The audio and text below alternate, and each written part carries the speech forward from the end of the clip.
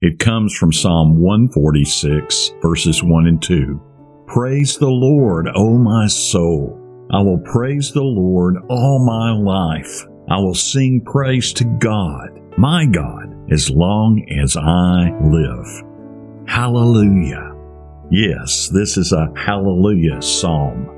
Praise the Lord is our translation for hallelujah, but it sure doesn't seem to carry that heavenly oomph that we feel when we're singing or shouting hallelujah.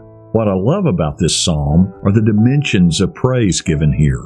My soul, all my life, as long as I live. The psalmist and the Holy Spirit who inspired him want us to realize that praise must be all encompassing. Our lives are to be a holy praise to the Lord as long as we have breath. So how's your praise? Have you only been letting it out at church? Hmm. Maybe it's time to let the rest of your life have a few hallelujahs as you praise the Lord with all your heart, soul, mind, and strength.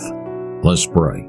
I praise you, God of Israel and God of the covenant, for your mighty work bringing salvation through Israel to all nations in Jesus Christ. My heart praises you for your joy and comfort. My head praises you for all your wondrous creations.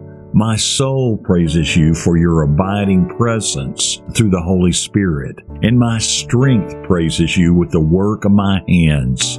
Please hear my life heart, and voice as they all cry, Hallelujah to you who alone is God. In the name of the Messiah Jesus, I say, Hallelujah and Amen.